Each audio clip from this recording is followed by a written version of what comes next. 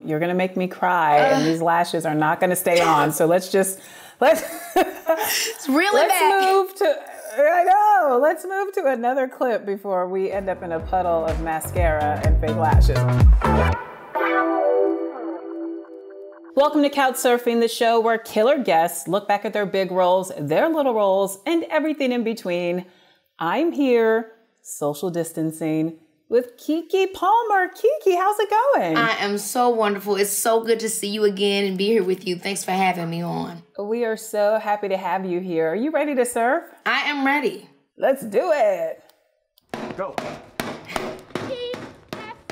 So cute, baby Keke.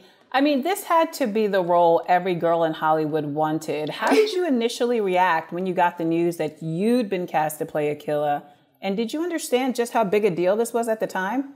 I think I knew that it was a big deal that I could get the opportunity to be the lead in a role with Angela Bassett and Laurence Fishburne.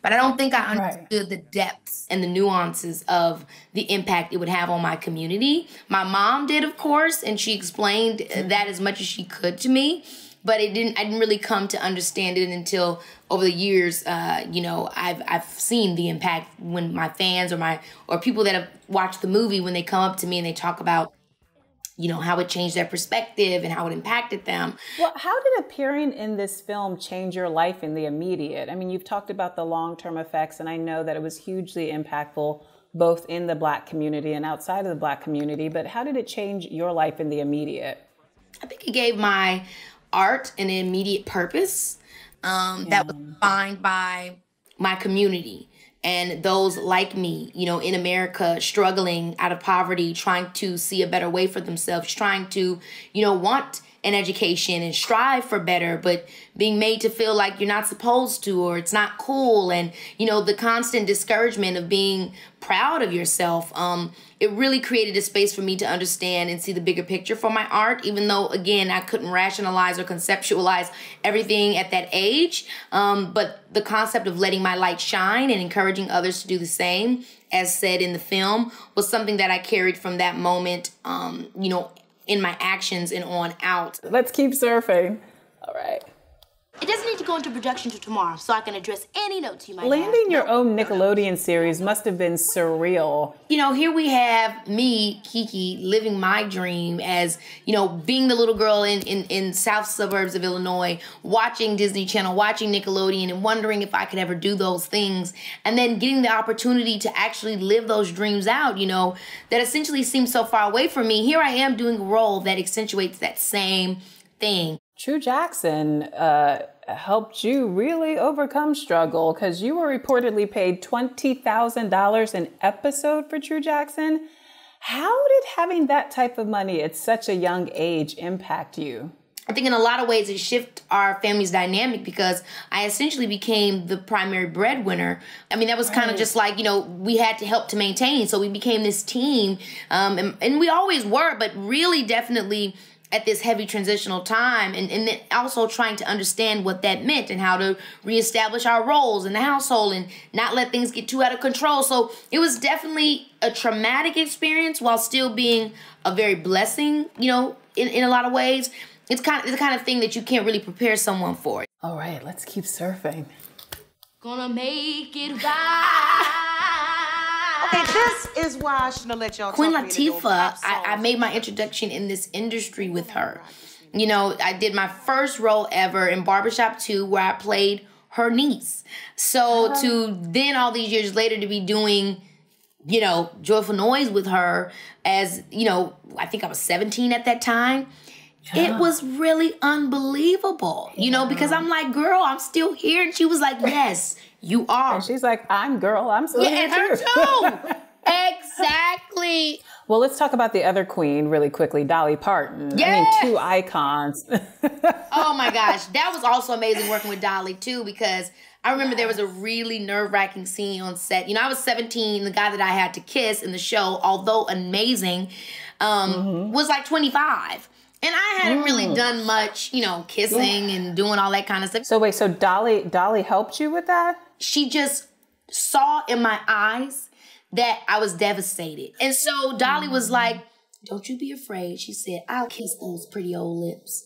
And just like made me just feel so seen. You know what I'm saying? Because I was embarrassed, you know, and I was young and I didn't know how to voice, I didn't know how to say, look, I ain't did this before. Calm down. You know, I didn't know how to how to say anything, you know. And she yeah. she came in and stepped in for me. She was an advocate for you. Yes, she was.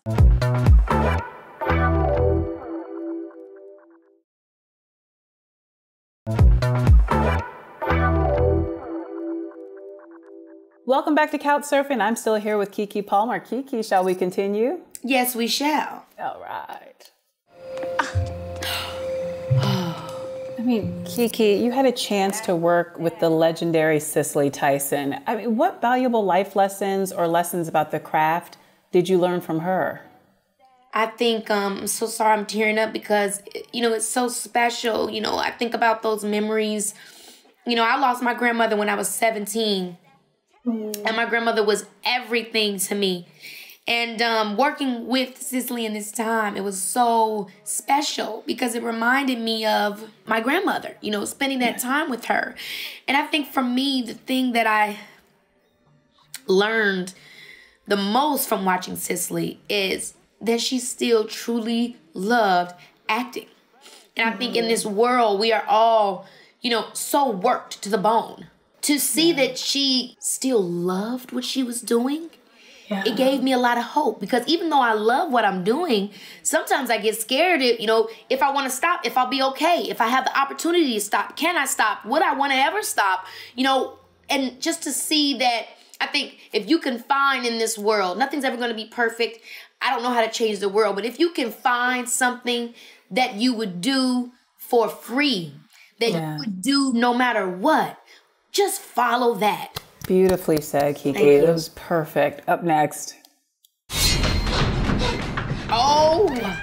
Walk me through the choreography of this scene because this could have gotten really messy if it wasn't highly choreographed. I mean, what was shooting this like for you? And then I want to ask you about another horror project that I know you're in, the new Jordan Peele movie. Here you have a show that's similar to, you know, Hit Job in the sense where it uses humor and dark comedy to bring about social issues. And at the beginning, you didn't know what was going to happen. You know, I, I remember there was a lot of fuss where people felt like, you know, is this character good and is this you know hurting the community or helping the community this role that keke's doing because she had a lot of quick wit lines in the beginning but if you watched as the show evolved, you saw the true message of what they were trying to tell. Just, I mean, it's the way that people tell stories to get their messages across. It, it gets more and more incredible as time goes. Um, and I think that's brings me to the excitement that I have working with Jordan Peele is because he's someone that does that the best. The reality yeah. is, is for him to be in a position now to essentially promote give me a promotion. Like if we're thinking about my industry as in a corporate fashion i mean he essentially has promoted me and allowed me to express my talent and show my work to people that you know you know maybe some have never seen you know. I'm this is like a huge motion picture um, that he's allowing me to be a part of and it's just incredible. Up next. Well it's getting late. Oh it is what sold you on joining this project? And I need to know about the chemistry, both on camera and off camera. Were there any wild nights out with Cardi B or Lizzo or J Lo or all of the above? Do tell.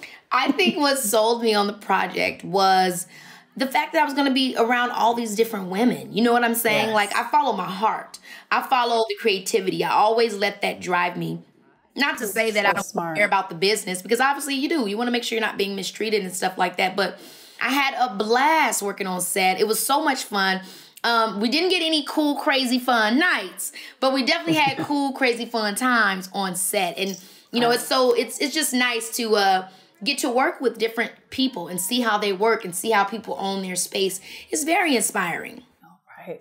And last but not least, the only way we're getting through this awful contest is with each other. Oh. So, Hit Job, a scripted comedy podcast that consists of 12 half hour episodes. Uh, what made you say yes to this project at this point in your career? You know, it, it's about smart comedy. And unpacking yes. a lot of the different themes that we're experiencing today when it comes to our com- our country, capitalism, and how that's helping, how we can adjust it, what it means, how it's affecting our people. You know, who, what success actually is. You know, if so many of us are are being held back. What was it like for you to flex your comedy muscles without video? You know, a podcast is obviously an audio based medium. Yeah, absolutely. You emote totally differently. It's all based on the voice. And I mean, I think I have a lot of fun doing that, manipulating my voice and stuff like that. And it, it gives a lot of pressure off of you when you don't have to do the hair and makeup and all that stuff. And I just close my eyes and I imagine things. And, you know, Pete was right across from me. Like we had like a window separating us so we could look at each other if we wanted to look at each other, which was really nice. So I really love that we got to be there, um, you know, and just at least, you know, feed off of each other and like kind of get into it. Um, but it was just so much fun, you know, whether it was emotional uh, moment we were playing into or a comedic moment. It's it's always how can I get this across, and that's the fun part. Keke, thank you so much for surfing by. You can check out Hit Job on Audible now, and see you next time on Couch Surfing. Bye.